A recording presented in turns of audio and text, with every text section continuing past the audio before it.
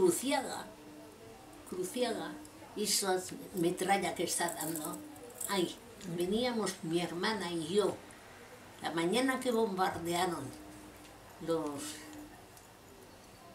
Italianos.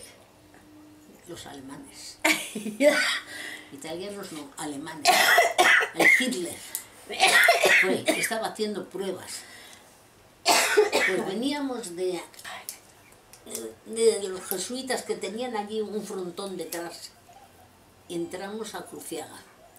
Y yo vi un cadáver, pobre,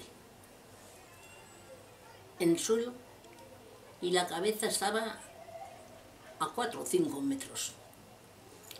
El, el cuerpo aquí, y la cabeza estaba allí. Y esto era un desastre. Un desastre, os digo yo, de miedo. Mi hermana le entró, a Eleni le entró miedo.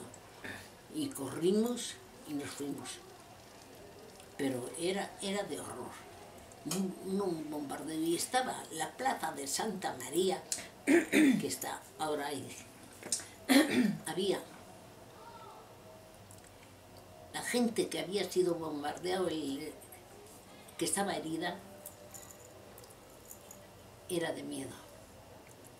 Allí corriendo.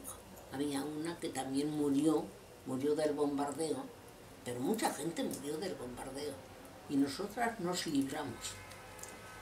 Y, y veíamos cómo llevaban al hospital, porque entonces el hospital estaba abierto.